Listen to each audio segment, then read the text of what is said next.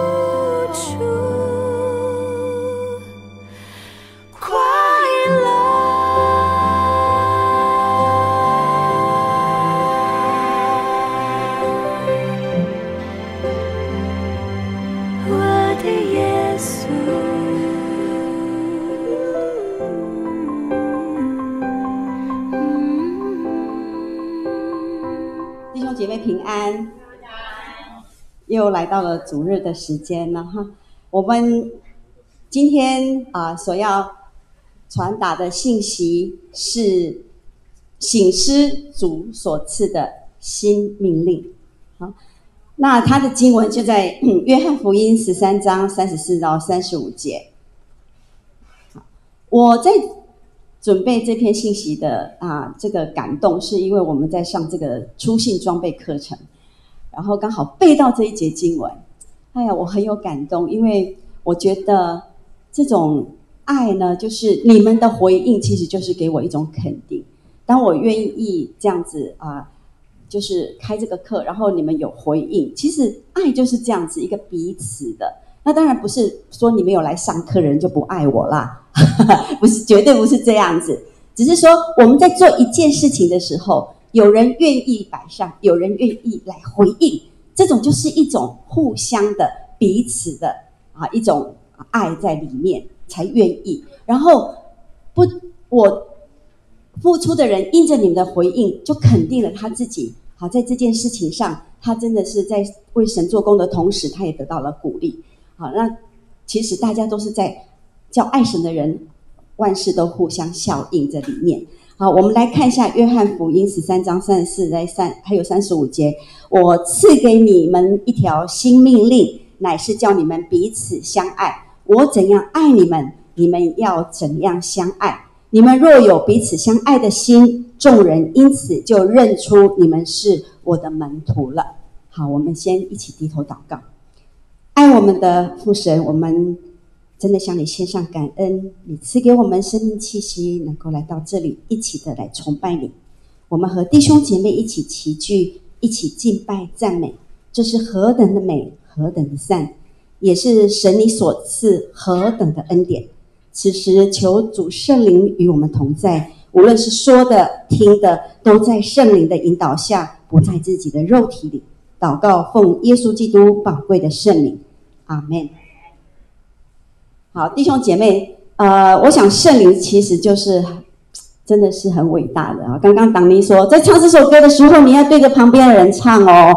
那其实我的，我我觉得他还是看着我的准备的奖章。现在我也要你们对着你两旁的人说一句话，可能对有些人是挑战，但是呢。今天我因为有这个感动，所以我就是要做。你对两旁的人看一下，跟他说：“我爱你。”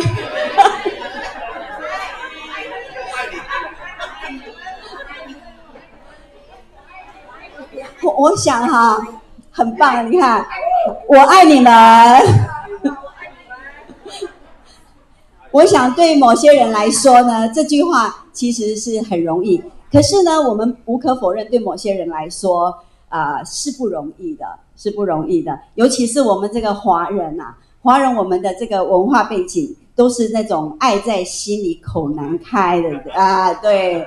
但是呢，还有一种情况可能让你更说不出来，就是你刚刚看到那个人，哎呦，怎么是他坐在我旁边？哦，哎，那个时候你就觉得可能更说不出来了。为什么？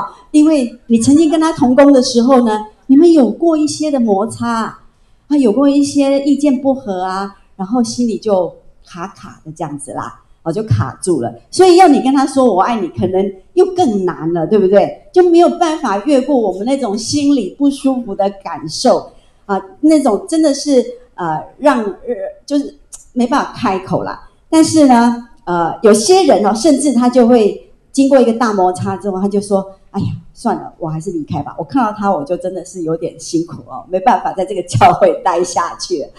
好，反正新加坡呃教会还是还蛮多的，这样子啊，可以去其他地方试试看。那但是呢，呃，我要说的是，基于一个人的本能，这样子是没有错的啊，因为在这个世代，其实他就是一直在教导我们要怎么样有灌输这种自我价值、自我肯定。然后，因为我们天然的这种性情呢。确实也是这样子的。我们喜欢体贴自己的肉体，因为呢，这样会让自己怎么样舒服一点。然后呢，甚至夫妻关系其实也是这样啊。就有一个女孩子哈，她问她的妈妈说：“哎，你们以前哦是没人介绍的，为什么你们可以恩爱一辈子啊？这样子哦，生活在一起一辈子呢？”然后这个妈妈就说：“其实我们这个。”那个年代的人，以前的人啊，我们东西坏了呢，会怎么样？想办法去修理。可是现在的人呢，东西坏了怎么样？换掉，是吗？哈，是这个就是，或者是啊丢了算了啦，这样子哈。所以这个就是一些价值观已经在这个末世的时代已经在改变当中，所以我们更需要神在我们里面。更需要神的这种爱跟价值观在我们里面。所以呢，主要我们学习什么？彼此相爱。耶稣他所赐的这个命令是要我们怎么样？多走一里路，跨越我们自己的自我的限制，然后呢，跨越自己去追求那种自我的舒适感。尤其是在这个彼此相爱这件事情上面，我们要来看这个约翰福音啊，他的记载，主耶稣在叫门徒这个彼此相爱的的时候，是在他啊要被钉十字架前的那一个最后一个晚上赐下的，在被卖的那一个晚上，他主就设立了圣餐，然后还为门徒洗脚，然后就对他们说：“我赐给你们一条新命令，乃是叫你们彼此相爱。我怎样爱你们。”你们也要怎样相爱？哈，这就是主他最后其实可以说是最后的遗嘱啦。但是门徒有没有注意到很在意主讲的这个话呢？嗯，好像没有很在意在听。那彼得这个时候就问说：“主往哪里去？”啊，没有错，其实彼得关心主要去哪里是很正常，因为彼得他很爱爱耶稣嘛，都没有错。好像我我好好多个孩子，对不对？好多个孩子，我如果跟我。先生要出门，我一定跟我四个孩子说：“宝宝跟妹妹要出去喽，你们要乖乖的，不要吵架，在家里要互相照顾，互相彼此相爱哦。”啊，我们要出去了，这样，那可能比较黏我的那个孩子就会过来拉我：“妈咪，妈咪，你们要去哪里？是吗？”那当然，身为一个妈咪，我是希望说我不在的时候呢，你们乖乖的彼此相爱，这个才是我要离开的这个妈妈最想、最想要啊看到的的一个情景。好像主耶稣他再来之前呢，他也要我们这样。他再来之前，他也要我们彼此相爱。他的心意就是在这里，他会再来。但是他再来之前呢，他要我们彼此相爱。好，所以呢，我们今天就要来看看，那这一节经文在读的时候呢，可能有一个地方就是新命令啊，我赐给你们一条新命令。那它是一条新命令吗？彼此相爱是新命令吗？啊，我们要来看一下立位记十九章十八节，他说：“不可报仇，也不可埋怨你本国的子民，却要爱人如己。我是耶和华。”这是在立位记里面所谈的。我们要再来看一下马太福音二十二章三十七到四十节，耶稣对他说：“你要尽心、尽性、尽意爱主你的神，这是诫命中的第一，且是最大的。”其次也相仿，就是要爱人如己。这两条诫命是律法和先知一切道理的总纲。为什么我弄红字呢？因为我们不要读错了。其次，我们会以为其次是第二个重要的，错了。他说其次也相仿，相仿在华语华文里面是什么？其实是一样的，其实是一样的。就是说，你们除了要尽心尽心尽意爱主你的神之外，你们还要爱人如己。懂那个意思吗？好，不是说爱人如己是排在第二。那当然，我们要先学会爱神。他的这个意思就，我们爱神，你学会爱神，你才会学会爱人。哦，因为如果你没有学会爱神，你很难学会去怎么爱人，而且你爱的可能是有利益的爱。所以我们要先学会爱神。他这个大概就是这样子。然后我们再来看一下。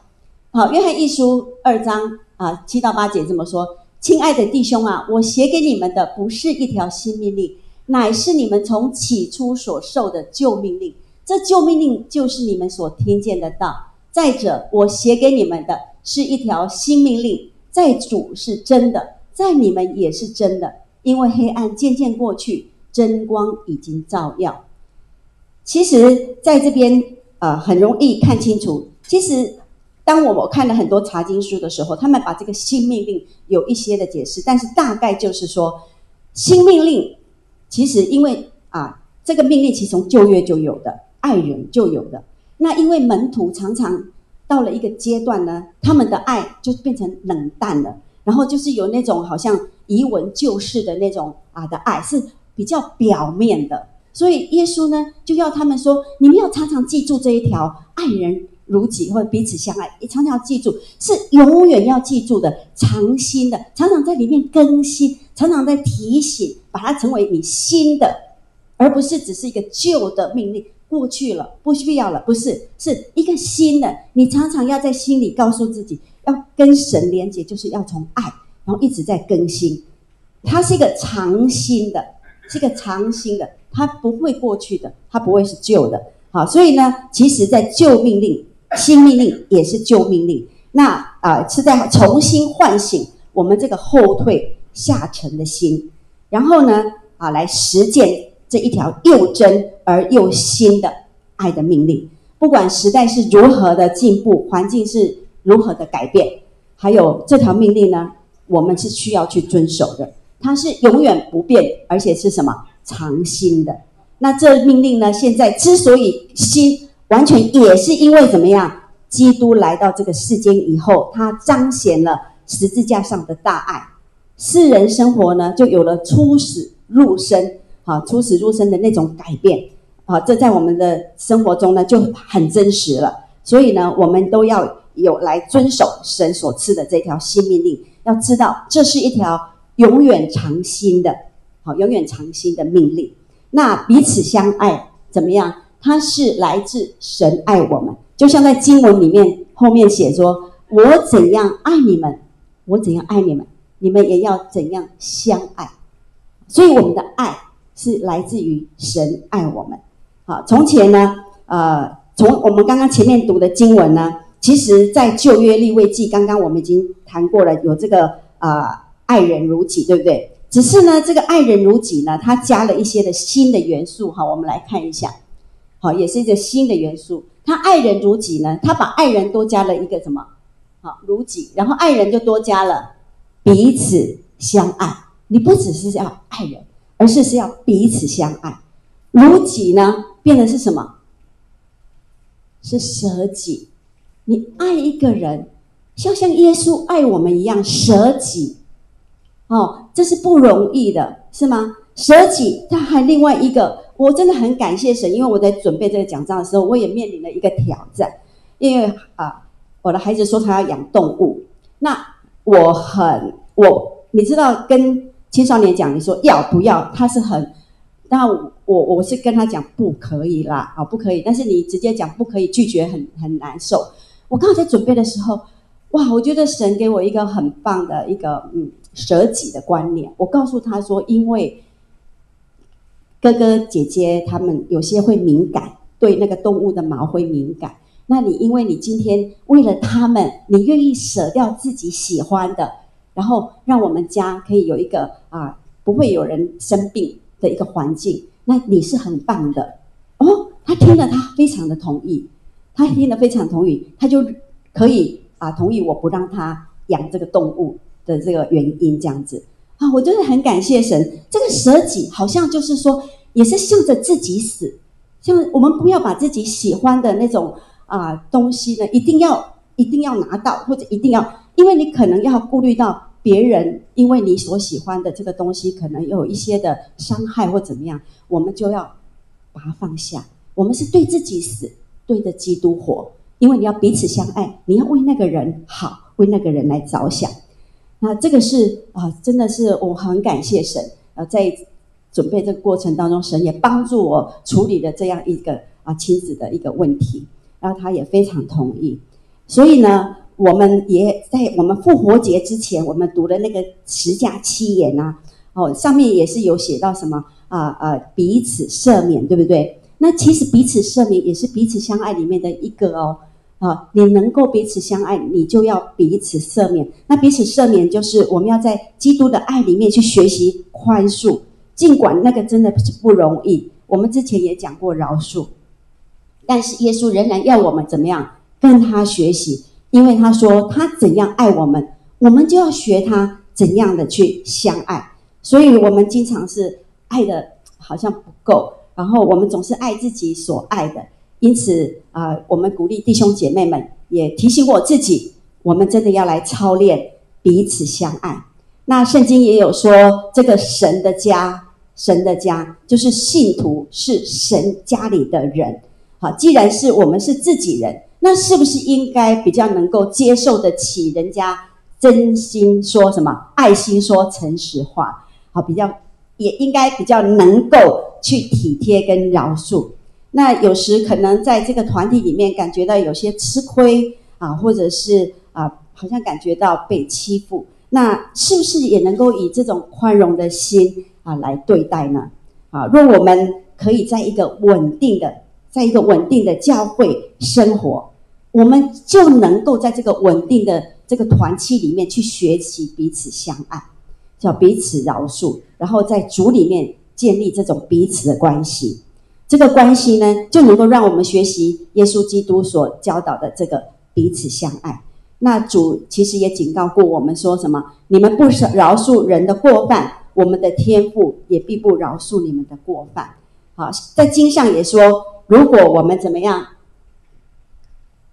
我们若彼此相爱，神就住在我们里面，爱他的心在我们里面得以完全了。所以在我们这个末世的时候呢，不少信徒确实呢都会注意到相爱。这两个字，可是呢，却忽略了彼此啊。而彼此相爱，不单单只是信徒之间啊，我们也指着我们跟教会之间啊。或许我们会常想说：“哎呀，呃，教会应该为我们做什么？”而少想我们能够为教会做什么。彼此相爱呢，在这个啊命新的命令的学习，是要将客体转为主体。哎，这样子讲好像有点深了哈。啊，牧师什么客体主体哈，就是说你本来是客人，你要把它变成你是主人的意思。以前呢，过去我们的观念就是说，哎呀，后啦，像对我看后啊，或者对看后啦，对不对？好，谁对我好，我就对他好，是不是？以前我们是这样，但是呢，圣经教导我们说什么？我们若要人对我们好，我们应该怎么样？先去对人好，就是说把这个客人的身份。变成是一个主人的身份，主人是主动嘛，是吗？好，你客人来，我们今天就要端茶，要要主动的招待他，是不是？所以我们主动的去爱人，而不是等到人家爱我们之后，就哇，看着人家怎么爱我，然后我才怎么样去爱他啊？是不对，圣经不是这样教的啊。所以呢，呃，我们很幸福啦。我来了这个复兴堂之后，我感觉到很幸福，因为我去隔壁店都不用付咖啡钱。有人很主动，有人很主动，就哎，而且甚至已经知道牧师是喝是喝什么，喝什么，得修带，你看，他已经知道了，你看，所以呢，哎呀，很幸福了。那个有有人很主动，但是也不可以一直让你主动。好，牧师改天也要主动一点，请你们喝茶。所以呢，耶稣的新命令就是要人有这个积极呀。爱人的心，好像呢啊，我们刚刚我刚刚讲的啊，你们愿意人怎样待你们，你们也要怎样待人啊。你们想要人家怎么待你，我们先成为一个客人，我们先去学怎样去对待别人。在这个，我我我一直在讲这这个模式，因为价值观真的是不一样啊。许多人的爱呢，这真的是慢慢的就冷淡下来。但是我们真的要记住，彼此相爱是主的命令。有一天呢，我们都是要向我们的主来交账。人们会忘记我们，也会亏待我们，但是我们要相信，神绝对不会亏待我们的。好，经上他也记着说，我们行善不可丧志，若不灰心，到的时候就要收成。有一则犹太故事呢，它没有记录在圣经里面，但是呢，我也很感谢神，因着。我今年挑战大家读经，所以我就更加紧自己脑筋神经弄紧一点，因为我要读嘛，对不对？所以呢，在读这个星期三刚刚过去的这个《萨摩尔记》二十四章，《萨摩尔记下》二十四章里面有谈到，好，《萨摩尔记下》二十四章里面有谈到这个耶布斯人亚劳拿合场，其实然后我就去查。历代志下三章也有谈到这个耶布斯人阿尔南的合场。好，我要来讲故事了。其实呢，这两个的合场是同一块的合场来的。神真的很爱我哈，在我预备讲章的时候，他就让我发现了，然后我就知道。但是这个故事没有记录在啊我们的圣经里面，但是它却是犹太一则非常感人的故事。阿尔南跟亚劳拿是兄弟，阿尔南是哥哥。啊，那个亚拿拿是弟弟。那么呢，在他们的呃合场里面，因为阿尔南觉得说啊，神给他蛮丰盛的这个，因为他们已经分家了，那神给他很丰盛的呃收入，所以他就觉得说弟弟比较年纪轻，所以他就到半夜的时候，他就会捆一捆的那个河啊，捆这个啊送到那个弟弟家。半夜的时候，那弟弟呢就想哥哥家人口比较多一点，比较需要，所以弟弟半夜呢也一样就捆了一捆河捆，然后就半夜偷偷偷偷偷是送到哥哥家。就他们早上一起来，诶，怎么都没有少？那他们也觉得很纳闷。那连续几天下来都是这样子，诶，然后都没有少。所以呢，这个呃，他们就觉得，诶，难道这个是神派使者，然后暗中为我做的这件事吗？然后继续，他们就再继续做。就在有一天的半夜呢，他们就在路途中遇到了，遇到了之后呢，啊，他们就说出了他们的这些事情。他们两个就抱在一起，好相拥而泣，抱在一起哭，很感动，因为他们的爱都是出于主动的，他们都是会主动的。他们有说哥哥送给我，好，我改天再送给他。没有，他是出于主动，他们俩都是出于主动的，是因为神呢，然后神也因为这两个兄弟这么相爱呢，就命定那个地方成为了建造圣殿的地方。亚拉拿河场呢？也可以说是阿尔南河场，这个河场呢，也是当年亚伯拉罕献以撒的地方。那萨摩尔记下二十四章，他也记载，因为大卫他因数点人数得罪了神，然后神就降瘟疫嘛。然后之后呢，他就到这个亚亚劳拿这个河场去筑了一座坛，他献燔祭跟平安祭，神就让这个瘟疫止住了。然后这块河场后来就成为。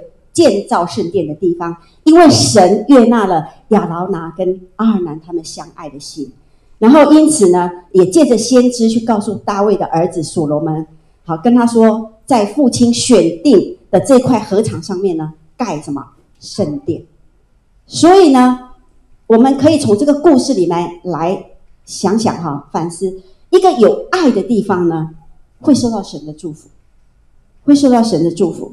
如果是在一个纷纷扰闹的这个家庭、吵闹的这个家庭里面哈，啊，神是不会听祷告的，不会听这个人这个纷纷吵吵。就比如说我们教会这样，大家吵吵，我们的祷告神不会垂听的。我们要建立在一个彼此相爱的这样子的一个环境里面，我们的祷告才更有力量，好，更有力量，会更蒙神来赐福。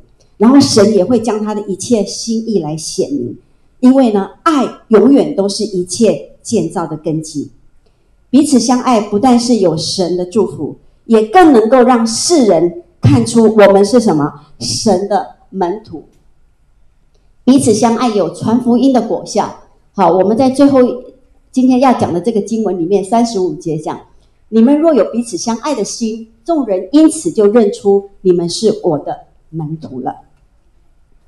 我记得我刚刚信主的时候呢，啊，我印象最深刻的其实就是教会的人来探访，就是教会的人来家里或医院去探访。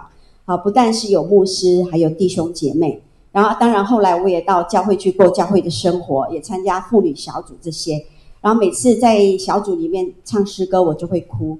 那那些姐妹她也不会阻止我哭，她们就是会在安旁边安慰我，然后。呃，我就发现他们在小组里面分享，不管是他们顺境逆境，他们都愿意敞开心来分享。这跟我过去我祖母给我的教导是不一样的，因为我祖母都说出来改进，莫别讲，不要慢到处讲，莫到处去想，自己家里的事不要到处去说。这是我祖母给我的啊，这样子，所以我们都觉得，哎，好像真的。可是这个团契里面，让我小组里面让我感觉到很不一样。他们都很敞开心，在分享自己彼此的顺境和逆境。然后最后，当然我信主了。然后啊，我的妈妈就是看到我们怎么好像每个礼拜啊，大家姐妹在一起这么快乐，她也很好奇。然后为什么礼拜天早上呃我会带孩子去教会？所以妈妈啊就跟我去教会。然后妈妈也信了主，就离开她的偶像的崇拜。那当初后来我从台湾。啊，再带孩子回来这边读书，我的妈妈仍旧在教会里面生活，因为我很放心教会里面的人呢，都叫她阿佑妈妈，不然就叫她婉玲妈妈，因为我是婉玲嘛哈，然后就叫她婉玲妈妈这样子。妈妈在那边很开心。那虽然她在教会的生活不是一直都很顺利，因为我妈妈的个性很强硬啊，她到六十岁才信主是不容易改的，她又不识字，不会读经。但是因为弟兄姐妹的爱，让她愿意继续的留在那间教会。她留在那间教会，她学习被包容，她学习去包容人。因此呢，到他的二零一九年，他安息主怀的时候，我可以告诉你，我们殡仪馆订的那个大厅是坐满了人，坐到门口，椅子排到门口出去，真的是满了的人。如果我妈妈不要坚持在一个教会，你觉得她的追思会会带来这样子的一个情况吗？而且我们那些未信主的亲戚朋友，我妈妈是他们那一代第一个，我是我们家第一个，但是妈妈是她兄弟姐妹们，我的舅舅里面第一个，他们真的是感受到了一场非常不一样的追思礼拜。我们有师班，有弟兄姐妹这么多人来，再加上亲戚朋友，我们真的整个大厅都不够坐，真的很感谢主，透过啊教会的这样一个彼此相爱的一个团契，让我们。为神做了一个美好的见证，所以我们彼此相爱，真的能够成为一个传福音、见证基督的一个很有效的途径。好，因为经文我们刚刚讲的，好，你们若有彼此相爱的心，众人因此就认出你们是我的门徒了。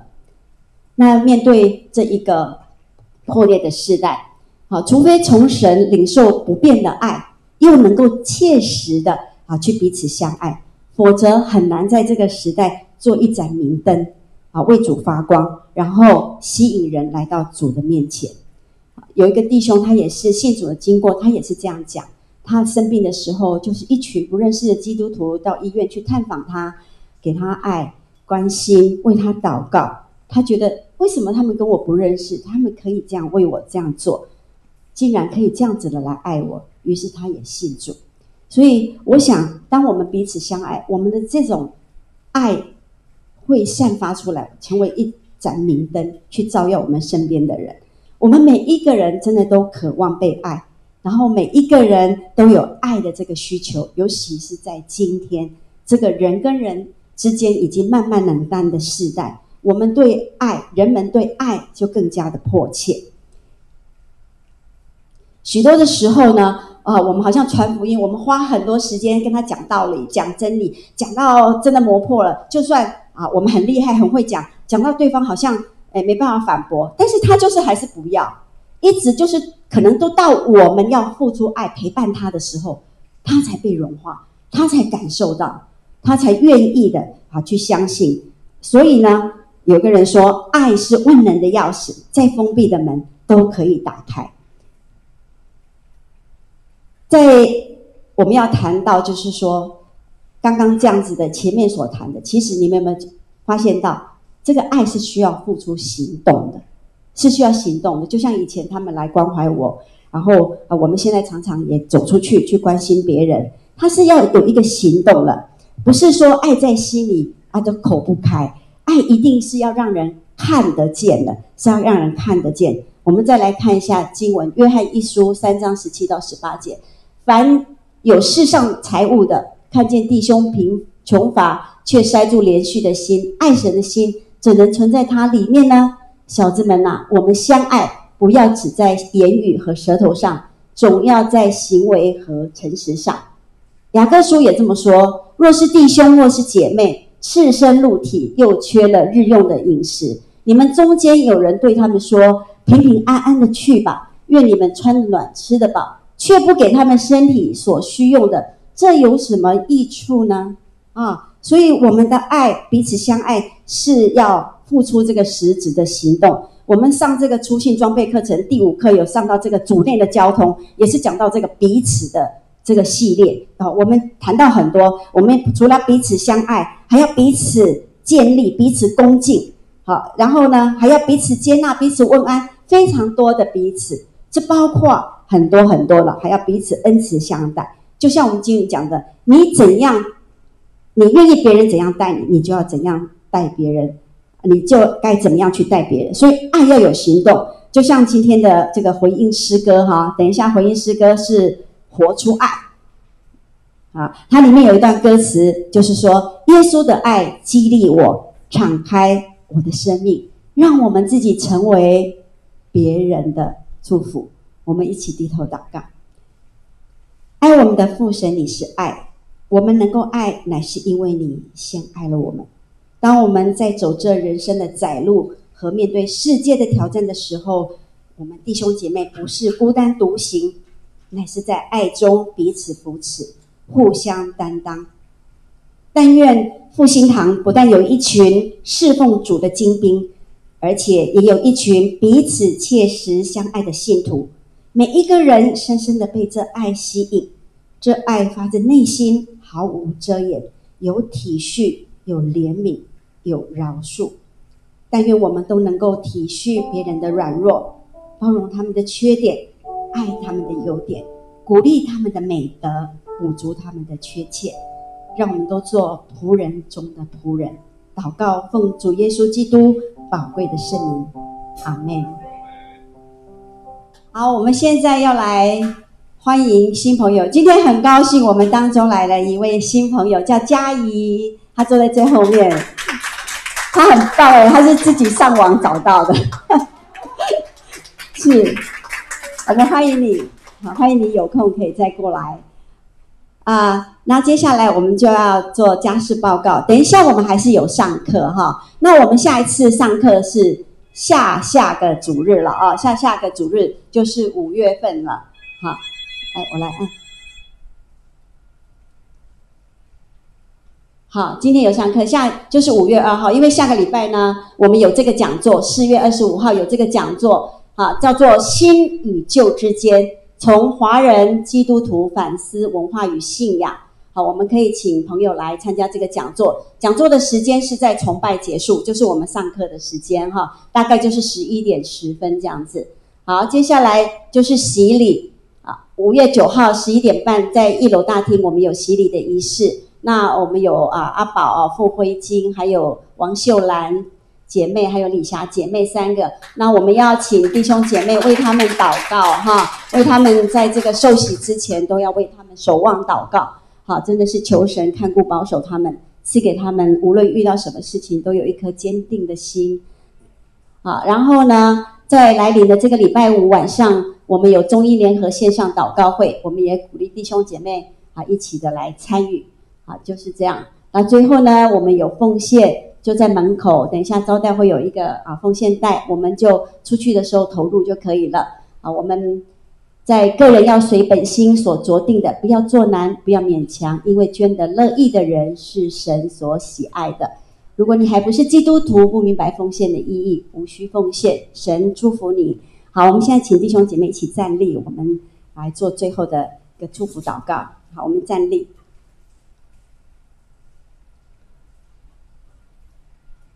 愿主耶稣基督的慈爱，愿主耶稣基督的恩惠、天父的慈爱以及圣灵的感动，常与弟兄姐妹们永远同在。我们这样祷告，奉主耶稣的名，阿门，阿门。请坐，我们平安散会。